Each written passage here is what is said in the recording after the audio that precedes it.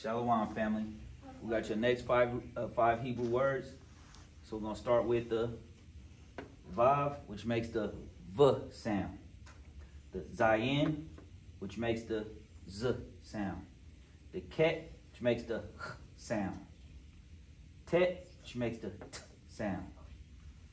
Yud, which makes the Y sound. Those are your five Hebrew words, family, while you are learning your heritage and your new language, Hebrew. Shalom.